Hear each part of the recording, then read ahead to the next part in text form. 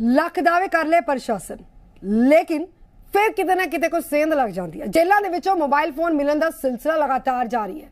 ਔਰ ਗੋਇੰਦਵਾਲ ਸਾਹਿਬ ਦੀ ਕੇਂਦਰੀ ਜੇਲ੍ਹ ਦੇ ਵਿੱਚੋਂ ਇੱਕ ਵਾਰ ਫਿਰ ਤੋਂ ਮੋਬਾਈਲ ਫੋਨ ਮਿਲੇ ਨੇ। ਕੇਂਦਰੀ ਜੇਲ੍ਹ ਦੇ ਵਿੱਚੋਂ ਕੈਦੀ ਤੇ ਹਵਾਲਾਤੀਆਂ ਤੋਂ ਮੋਬਾਈਲ ਫੋਨ ਮਿਲੇ ਨੇ।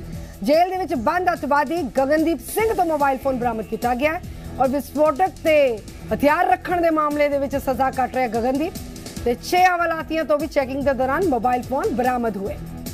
ਮਨੀਸ਼, ਸਾਡੇ ਨਾਲ ਸਾਡੇ ਸਹਿਯੋਗੀ ਜੁੜੇ ਹੋਏ ਨੇ। ਮਨੀਸ਼, ਕੀ ਜਾਣਕਾਰੀ ਹੈ? ਜੇਲ੍ਹਾਂ ਦੇ ਵਿੱਚੋਂ ਮੋਬਾਈਲ ਫੋਨ ਮਿਲਣ ਦਾ ਸਿਲਸਿਲਾ ਲਗਾਤਾਰ ਜਾਰੀ ਅਕਸਰ ਜੋ ਖਬਰਾਂ ਨੇ ਬ੍ਰੇਕਿੰਗ ਨਿਊਜ਼ ਬਣਦੀਆਂ ਨੇ, ਇਸ ਸਾਜ਼ਾ ਮਾਮਲੇ ਦੇ ਵਿੱਚ ਇੱਕ ਵਾਰ ਫਿਰ ਤੋਂ ਸਵਾਲੀਆ ਨਿਸ਼ਾਨ।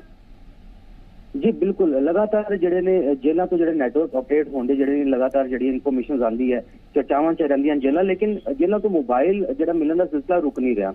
ਖਾਸ ਕਰਕੇ ਆਪਾਂ ਗੱਲ ਕਰੀਏ, ਦੇਖੋ ਜਿਹੜਾ ਕੇਂਦਰੀ ਜੇਲ੍ਹ ਗੋਇੰਦਵਾਲ ਸਾਹਿਬ ਹੈ, ਇੱਥੇ ਹਾਈ ਸਿਕਿਉਰਿਟੀ ਵਾਰਡ ਚ ਬੰਦ ਜਿਹੜਾ ਅੱਤਵਾਦੀ ਹੈ ਗਗਨਦੀਪ ਸਿੰਘ, ਉਹਦੇ ਕੋਲੋਂ ਮੋਬਾਈਲ ਬਰਾਮਦ ਹੋਇਆ।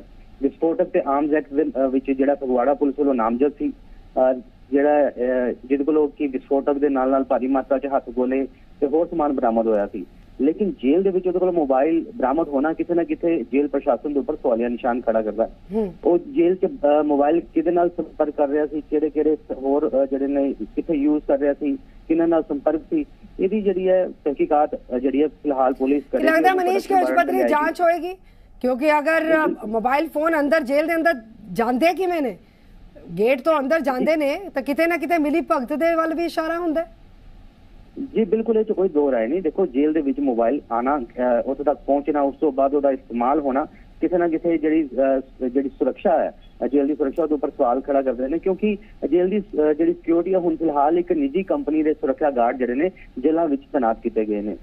ਕਈ ਵਾਰ ਇਸ ਤਰ੍ਹਾਂ ਦੀ ਵੀਡੀਓ ਵੀ ਇਸੇ ਜੇਲ੍ਹ ਦੀ ਵੀਡੀਓ ਵੀ ਸਾਹਮਣੇ ਆਈ ਸੀ ਜਿਹਦੇ 'ਚ ਸਿਕਿਉਰਿਟੀ ਗਾਰਡ ਕੋਲੋਂ ਹੀ ਜਿਹੜੇ ਨੇ ਆਪੱਤੀਜਨਕ ਸਮਾਨ ਮਿਲਦਾ ਇਹਦੇ ਇਲਾਵਾ ਜਿਹੜੇ ਨੇ ਫਿਲਹਾਲ 6 ਹੋਰ ਹਵਾਲਾਤੀ ਨੇ ਜਿਹੜੇ ਕੋਈ ਕਤਲ ਦੇ ਮਾਮਲੇ 'ਚ ਹੈ ਕੋਈ ਕਤਲ ਦੇ ਪ੍ਰਯਾਸ ਦੇ ਮਾਮਲੇ 'ਚ ਜਿਹੜੇ। ਸੰਗੀਨ ਅਪਰਾਧਾਂ ਦੇ ਵਿੱਚ ਨੇ। ਉਹਨਾਂ ਕੋ ਵੀ ਮੋਬਾਈਲ ਬਰਾਮਦ ਹੋਏ ਨੇ ਫਿਲਹਾਲ ਬਿਲਕੁਲ ਪੂਰਾ ਨੈਟਵਰਕ ਜੇਲ੍ਹਾਂ ਦੇ ਅੰਦਰੋਂ। ਚੱਲਦਾ ਕਿਵੇਂ ਆ ਔਰ ਜੇਲ੍ਹ ਦੇ ਅੰਦਰ ਮੌਜੂਦ ਜੋ ਮੁਲਾਜ਼ਮ ਨੇ ਉਹ ਕਿਸ ਹੱਦ ਤੱਕ ਜ਼ਿੰਮੇਦਾਰ ਠਹਿਰਾਏ ਜਾ ਸਕਦੇ ਨੇ ਇਸ ਤੇ ਤੁਸੀਂ ਨਜ਼ਰ ਬਣਾ ਕੇ ਰੱਖਿਓ ਬਹੁਤ ਬਹੁਤ ਸ਼ੁਕਰੀਆ ਫਿਲਹਾਲ ਤੱਕ ਦੀ ਜਾਣਕਾਰੀ ਦੇ ਲਈ